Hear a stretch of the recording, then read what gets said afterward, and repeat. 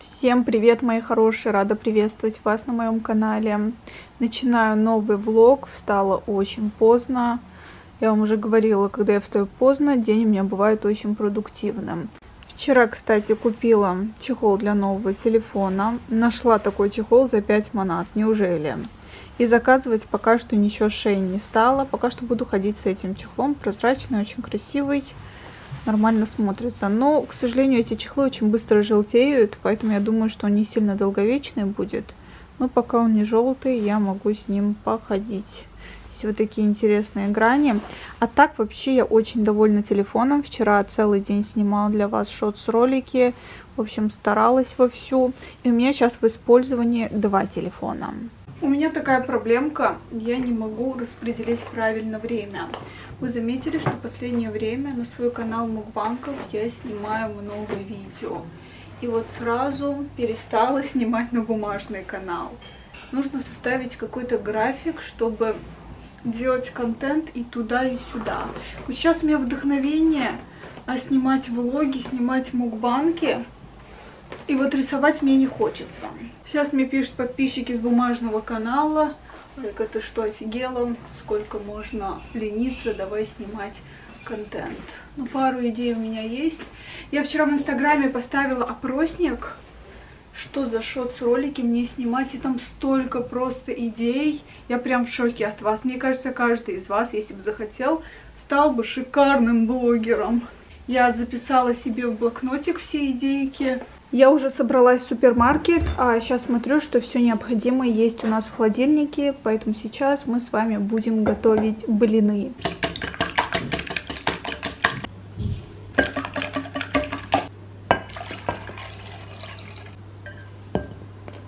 Чтобы комочков не было, молоко мы добавляем в два этапа.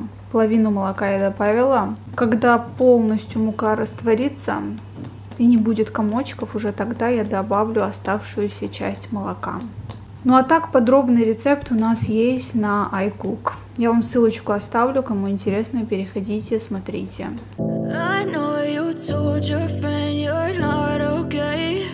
Наше это видео не зря набрало 2,5 миллиона просмотров. Получается идеальное тесто для блинчиков.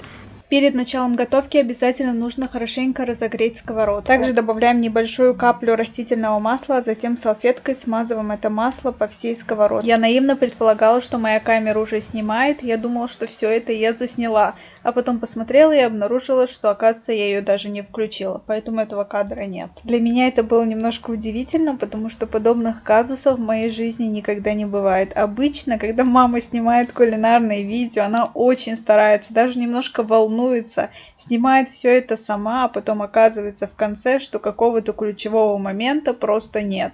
В этот момент она забыла включить камеру. Либо включила и сразу же выключила, и в общем этого кадра нет. Потом на процессе монтажа я стараюсь как-то исправить ситуацию, либо написать, либо в описании это указать. В общем, обязательно заглядывайте на наш кулинарный канал, там много всего интересного.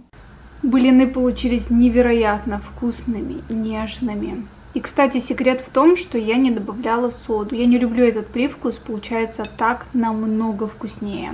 Сейчас еще налью чай. У меня вот такой вот стаканчик маленький, мне он очень нравится. Раньше, кстати, ведрами пила чай, а сейчас люблю вот такие маленькие стаканы.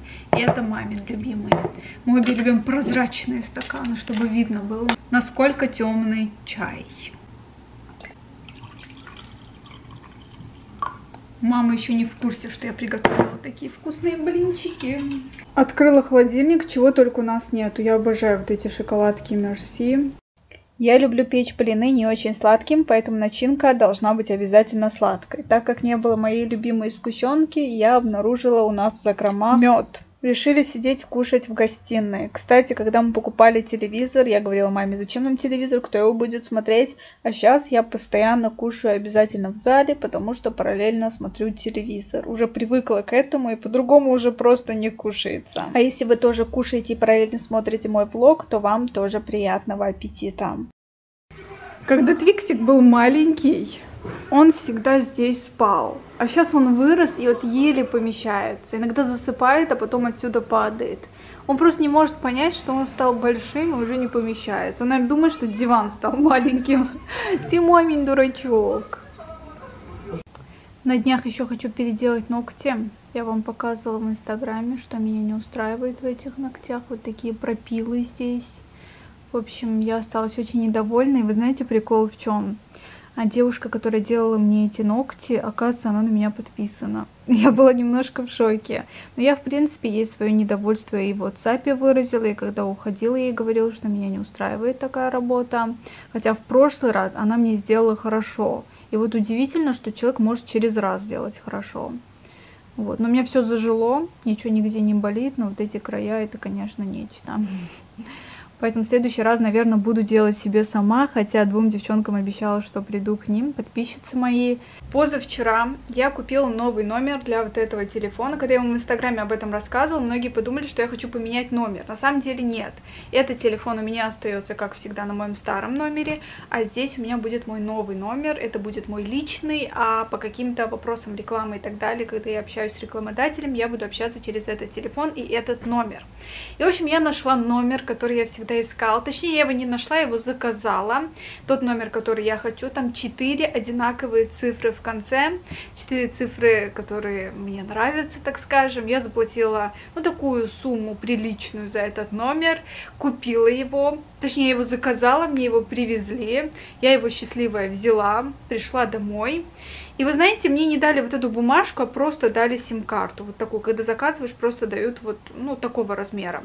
Я пришла домой, и я такая понимаю, но ну, четыре последние цифры этого номера я знаю. А что было посередине, я не помнила. И чтобы активировать этот номер, нужно загрузить на него деньги. А чтобы загрузить на него деньги, нужно знать номер. И такой замкнутый круг получался. Я, короче, начала думать, лазить в телефоне, а, как понять свой номер. Даже вас спрашивала в Инстаграме. Ну, в общем, дело даже не в этом было. Я не смогла этот номер вставить в свой телефон. Я подумала, что, скорее всего, наверное, у меня телефон какой-то бракованный, разъем неправильный. Я решила засунуть этот номер в свой старый телефон. Я поняла, что дело тут не в телефоне, а дело как раз-таки в номере. Он как-то вырезан неправильно. Причем он вырезан на миллиметр. Вот я очень сильно расстроилась этому моменту. Сначала думала, может, я не умею а обратно пошла в этот магазин, и мне сказали, что действительно он вырезан неправильно, нужно еще ждать и так далее. Я сказала, вы знаете, что дайте мои деньги. И я пошла домой. В общем, я оказалась без номера. Но, с другой стороны, я думаю, все, что не делается, все делается к лучшему. Зачем платить столько за номер? Просто это, наверное, не совсем рационально, так скажем. Вы знаете, с этой проблемой я сталкивалась, когда я покупала машину. Я хотела красивые номера на машину. АЕ, Айка Эмили, и там определенные цифры я хотела.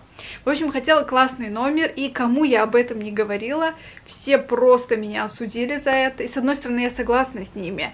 Например, брат мне сказал, ты покупаешь обычный Шевроле, ты тратишь такие деньги на номер, зачем, к чему эти понты? В общем, отругал меня по полной программе. Брат сказал, вот когда купишь себе последний Мерседес, тогда я тебе разрешу купить классные номера. И вот что вы думаете на этот счет? Стоит ли платить за крутые номера, за классный номер телефона или это дешевые понты? Вот что вы считаете? Вот я сейчас, например, у меня внизу стоит машина, я даже не помню, какие у меня номера. А вот если бы у меня были там 333, 111, я бы легко запомнила. В общем, все мои близкие меня осудили за это, поэтому у меня теперь дурацкие номера. Но каждый раз, когда я еду куда-то, я вижу такие зеркальные номера на чужих машинах, особенно когда эти номера на недорогих машинах, я думаю, блин, вот я хотела это сделать, мне не дали.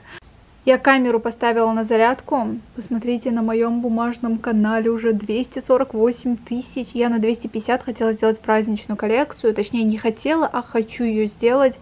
Но я понимаю, что у меня времени уже очень мало. Тем более есть коллекция, которая еще на половине. Ее надо делать. Еще надо сделать праздничную коллекцию. Поэтому, скорее всего, ночью я сегодня спать точно не буду. И тут у меня такие крутые просмотры. Посмотрите. Я еще два ролика вот прямо сейчас засняла и закинула пока у меня влоговая камера была на зарядке, чтобы не терять времени даром, засняла быстро шортс. Они очень быстро снимаются и сразу же в телефоне монтирую, быстро загружаю. Еще смотрите, что купила для машины. Уже последнее время спокойно езжу, без никаких происшествий. В общем, вот такая штука, чтобы клеить телефон. И у меня будет в телефоне навигатор. Эту штучку нужно приклеить на чехол. Вот таким вот образом я, наверное, приклею. А затем телефончик вот так вот будет крепиться, и я могу смотреть, куда я еду. И там у меня будет навигатор.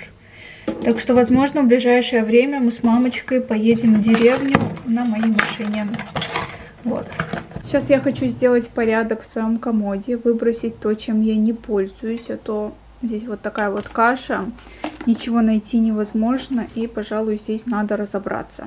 Сейчас будет такое небольшое мини-расхламление. Обращайте внимание на эту упаковку. У всех блогеров она в этом состоянии. Не то, что я такая хрюшка. Просто здесь материал такой непонятный это румяна от Sleek, кремовый. Я на самом деле подобные кирпичные оттенки очень люблю. Просто дело в том, что эти румяна не кремовые, я не заметила, заказала их, и вот они у меня лежали-лежали, теперь я решила их выбросить. Кремовые текстуры вообще не люблю. Ни румяна, ни хайлайтеры, это не мое, поэтому выбрасываю. Также выбрасываю 4 тенюшки от MAC. Они, правда, не кремовые, тут просто дело в том, что эти тени я покупала, когда была на первом курсе, и они у меня уже лежат настолько давно, что от них пора избавиться. И вообще появилось очень много альтернатив, гораздо дешевле, лучше качеством. Да и сейчас MAC тоже поменяли текстуру, и уже у них тени намного качественнее, нежели эти. Поэтому эти 4 однушки у меня отправляются в мусорку. Дальше тут тени, которые я переспрессовала. Типа этим буду пользоваться, просто лежала-лежала и теперь решила выбросить. Так что это тоже в мусорку. Я вообще не сторонник выбрасывать косметику, но иногда это просто вынужденная мера. Выбрасываю два бальзамчика для губ. Бальзамы для губ подобного формата я просто обожаю. Просто проблема в том, что они цветные. То есть я, например, крашусь на ночь бальзамом, и у меня вся Вся подушка вот в таком цвете. Мне это не нравится. Я пыталась, как вы видите, пользоваться этими бальзамами, но не очень удачно. Не хочу себя заставлять, поэтому выбрасываю эти две баночки. Еще выбрасываю чехлы на свой 11 iPhone. Не знаю, поверите вы или нет, но этот чехол я не носила ни разу. И он уже такой грязный, его отмыть невозможно. Заказывала его, по-моему, по-моему, с Алиэкспресс, точно не помню, откуда я его заказывала. Но стоил он копейки, вот как вы видите, грязь прям въедается. И вот эти края прям грязные. Поэтому подобный чехол я себе не хочу. А вот этот я покупала у нас в городе, достаточно дорого, и он очень долго мне служил. Но здесь уже появились вот такие вот пузырьки. Он свое отслужил, вот, поэтому я от него тоже избавляюсь. Мой любимый чехольчик. Потом вот такой, который я заказывала вместе, кстати, с этим. Один матовый, другой глянцевый. Я почему-то была уверена, что если даже матовый испачкается, глянцевый уж точно не испачкается. Но ошибалась. Здесь тоже появились такие пятна, которые не отмываются, проще просто выбросить. Видела, кстати, какие-то лайфхаки, что надо в кипящую воду засунуть. Ну, блин, слишком много мороки. И у них тоже видео я особо результата не увидела. И мой первый чехол, я купила его, когда только купила свой 11 айфончик. И он тоже мне достаточно долго служил. Но здесь тоже вот такие вот вкрапления, уже он весь грязный, поэтому, чтобы эти чехлы не занимали лишнее пространство, я от них тоже, пожалуй, избавлюсь. Кстати, еще насчет мусора. Помните этот свитер, который я вам показывала в последней распаковке? Хочу вам показать его спустя, ну сколько, месяц даже больше месяца, ни разу не стирала, уже он весь в затяжках, весь вот в таких катышках, поэтому не советую вам заказывать именно теплые какие-то свитера с Шейн. Летние вещи, конечно, обалденные, но вот зимние вот в такое превращаются. Хотя не все свитера, вот этот вроде норм, а этот вот в ужасном состоянии. Его даже стирать не нужно, сразу в мусорку. I know you told your.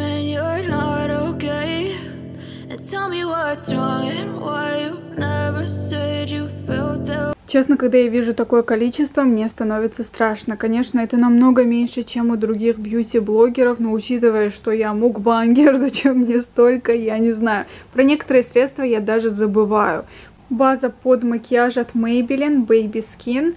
Сказать честно, я не являюсь огромной фанаткой всяких баз, мне гораздо удобнее без них, но надо ее закончить, пока не закончился срок годности поэтому убираю ее в сторону. Еще я совсем забыла, что у меня есть вот такая палетка хайлайтеров. Они очень крутые, но после покупки я, по-моему, ни разу ими не пользовалась. Или пару раз делала сводчи и все. Тоже надо отложить в сторону, чтобы я не забыла, что такое средство у меня есть. И еще средство для снятия макияжа. Покупала, потому что очень миниатюрная упаковочка. Носить с собой в спортзал очень удобно, но она оказалась черной. В общем, надо закончить. Ну а все остальное буду вытирать влажными салфетками и упаковывать обратно в органайзеры.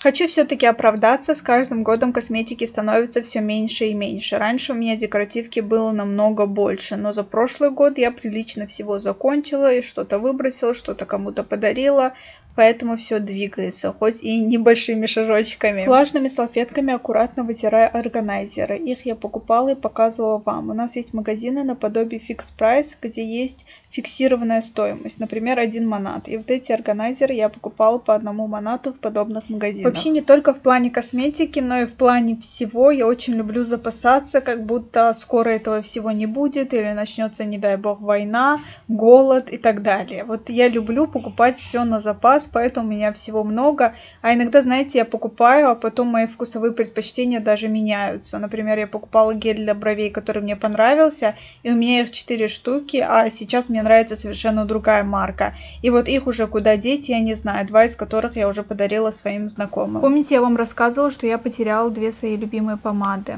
Так вот, я их так и не нашла. Одна была чуть-чуть посветлее вот этой вот помады. Очень красивый такой пыльный розовый оттенок был. Куда они пропали, я не знаю, сквозь землю провалились. И чтобы мне было не скучно это все делать, я смотрю старые выпуски Дома 2, ретро-версии. Так интересно. Тем более ты знаешь, чем закончилась история их любви. Вообще, раньше Дом 2 был очень интересный. У меня есть вот такая вот бумага. Нужно вырезать нужный размер и постелить сюда, чтобы здесь не было пятен. Я уже заляпала. Сейчас это все помою и постелю эту бумагу. Она такая глянцевая, ее вытирать будет намного проще. Только потом буду помещать сюда косметику.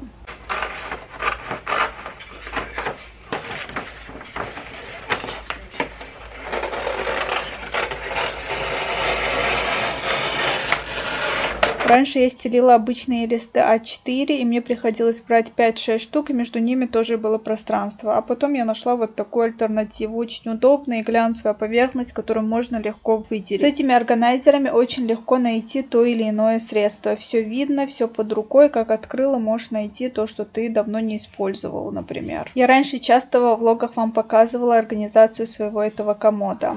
Ну что, идеальный порядок. Здесь у меня уже на комоде ничего не лежит.